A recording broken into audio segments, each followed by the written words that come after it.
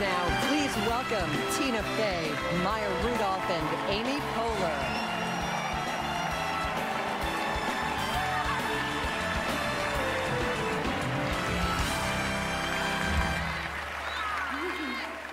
Good evening and welcome to the 1 millionth Academy Awards. Und damit herzlich willkommen zur Oscar-Folge von Süß oder Salzig. Gestern wurden in LA ja die Goldjungen verliehen und wir sprechen heute über die Highlights vom Abend. Natürlich bin ich nicht alleine, sondern Jörn und Chris sind am Start. Chris frisch aus den Hallo. USA wieder da. Und äh, ja, ich würde sagen, jetzt erstmal Popcorn, oder? Sehr gerne. Ja. Gut, probieren wir mal. So, Ah, bei mir ist salzig. Meins auch. eins Oh, auch. Okay, dann Super. schnell, schnell Intro ab. Danke, gut an.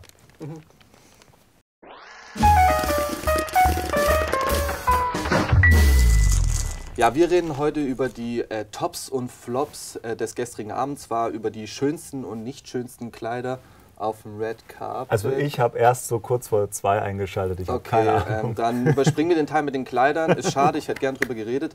Ähm, ja, dann kommen wir direkt zu einem Film und fangen mal an mit dem äh, besten Film des gestrigen Abends. Und das ist äh, Green Green Book. Book. Ja. Genau, ja. Hat ihn einer von euch gesehen? Ja. du hast ihn gesehen, ich nicht. Ich habe ihn auch gesehen.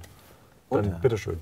Ja, ich finde ihn sehr gut. Dem Film wurde ja so ein bisschen vorgeworfen, dass er im Gegensatz zu dem Spike Lee-Film ähm, Black Clansman, dass er die schwarze Welt von außen darstellt. Also dass das jetzt nicht der eigentliche Protagonist ähm, schwarz ist, aber ich fand trotzdem, dass es ein richtig guter Film war.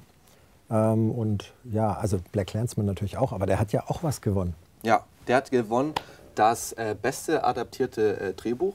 Und ähm, ich habe ihn leider nicht gesehen, aber äh, auch äh, völlig zu Recht. Er soll sehr lustig sein, Ist er. sehr intelligent geschrieben. Und äh, äh, du hast ihn auch gesehen? Hast du ihn gesehen? Ich habe nicht gesehen, nee. Ja. Noch nicht. Black Clansman? Noch nicht gesehen, Oh, nee. unbedingt angucken. Ja, ja. Black Clansman auch zu Hause, alle anschauen. Auch anschauen. Und Green Book, äh, beide schöne Filme.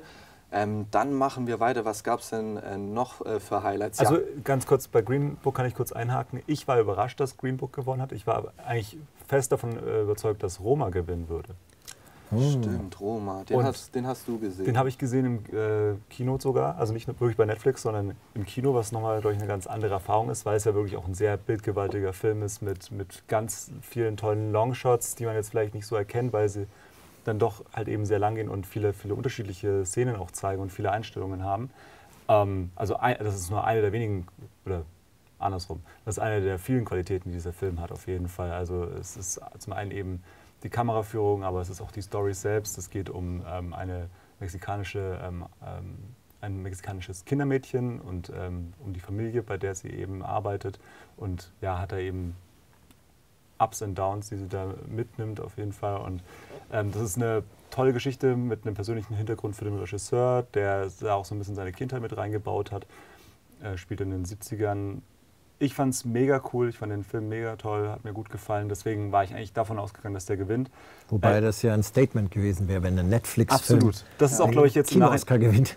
Im Nachhinein war es mir dann auch irgendwie ja. relativ schnell klar, warum er nicht gewonnen hat, weil man natürlich dann nicht so einem Streaming-Portal dann äh, diese, diese, diesen Genugtuung ermöglichen möchte, dass sie letztendlich dann jetzt endlich auch den besten Film mal gestellt haben. Das wäre dann schon auch ähm, was gewesen, was man in der Zukunft auch nicht mehr zurücknehmen könnte. Ja, mal sehen, wie lange sie drumherum kommen. Ja. Wenn, wenn Netflix so weitermacht, dann werden sie vielleicht doch noch mal den besten Film gewinnen. Aber der Film hat doch was gewonnen, oder? Er hat einiges gewonnen. Also er hat beste Kamera gewonnen, meine ich, äh, bester au- ausländischer Film und bester Regisseur. Bester Regisseur, genau. Ja, das bin ja, das- geblieben, ja. Für mich auch alles für, äh, hochverdient. Ja, Ja.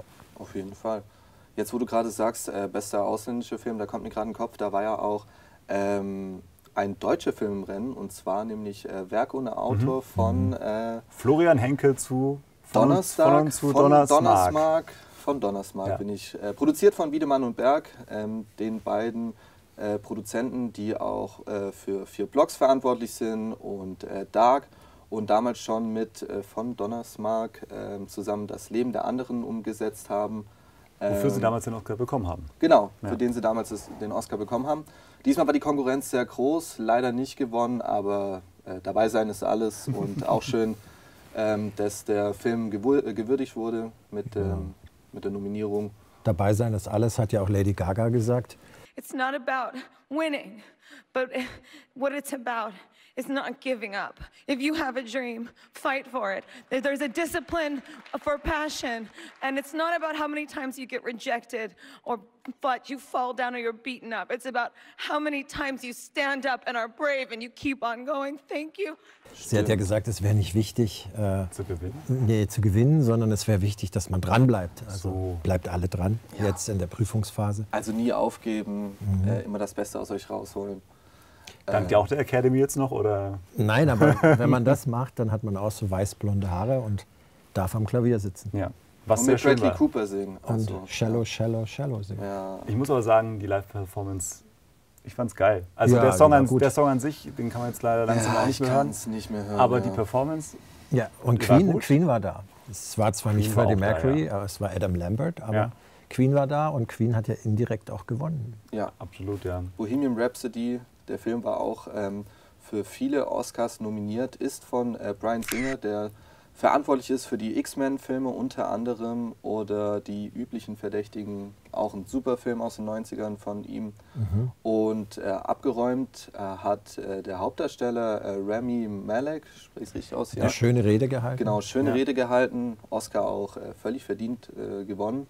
Die Konkurrenz war groß, Christian Bale war unter anderem noch nominiert für Viggo Mortensen. Äh, Viggo Mortensen, genau, und äh, Bradley Cooper, glaube ich, Ja, auch, war auch nominiert, in der ja. Kategorie.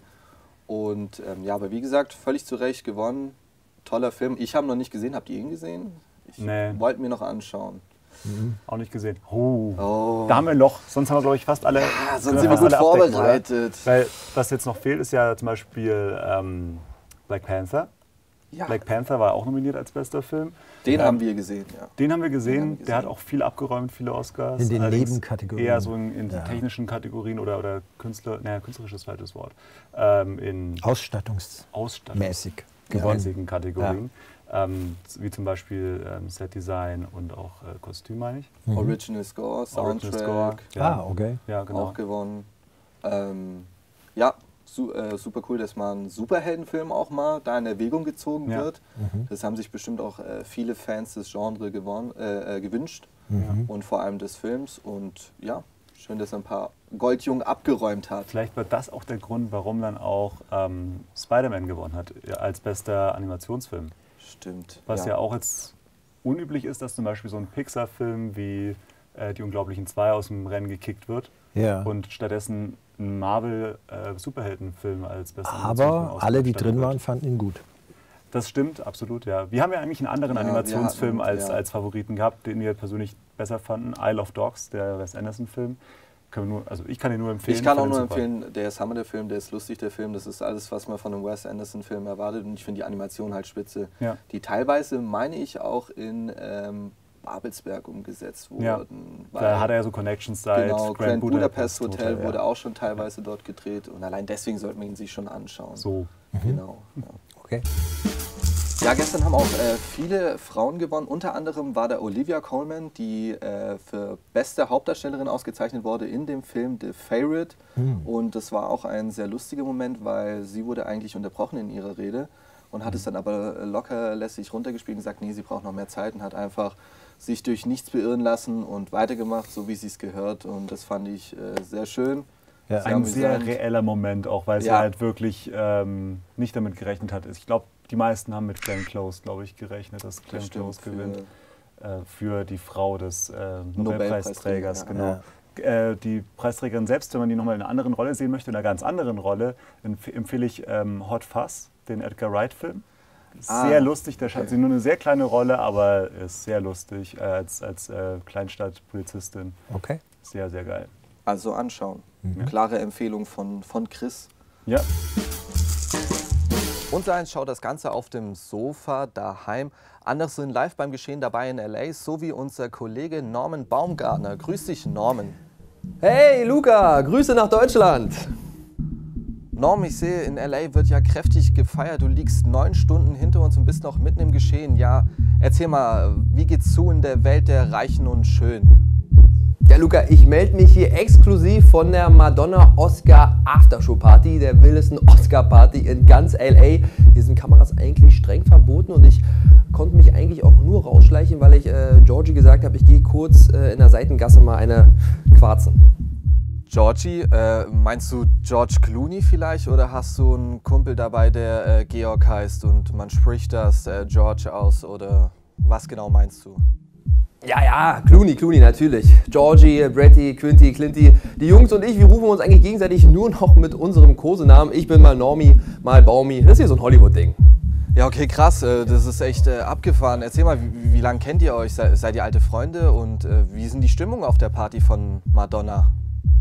Ja, Luca, ich will dich jetzt nicht mit irgendwelchen Details über unsere äh, achtstündig andauernde Freundschaft langweilen, aber die Stimmung, so viel kann ich sagen, ist der Hammer. Ja? Alle sind hier super gut drauf. Es gibt Dom Perignon umsonst. Also ich meine, what, da lässt sich das Material Girl nicht lumpen, ne? Ja, oh, Norm, das hört sich ja äh, echt abgefahren an. Konntest du denn schon ein paar Gewinner des heutigen Abends erblicken? Äh? Warte mal, Luca. Krieg hier gerade eine SMS von Georgie rein. Boah, der alte Schlingel. Ähm, du, Luca, ich muss wieder los. Ich meine, ähm, wir können uns ja später nochmal hören oder auch nicht, je nachdem, ob wir äh, mit Leo noch weiterziehen. Von daher, tschö, aus Hollywood, Grüße ins Schwarmlände. Okay, ähm, dann danke Norm für deinen objektiven Lagebericht aus LA, live von der Madonna After Oscar Party. Ah, das war gut. Ach, Das der war das der war der Norman, ja, Was LA der für Madonna getan sich- hat, um auf die Pause, äh, Party zu dürfen. Ja, hat sich der alte Schlingel gleich mit George Clooney angefreundet. Hat er? Ja, hat War der da? glaube ich. George Clooney war da echt. Ich habe nur Lady Gaga gesehen. Naja. Ja.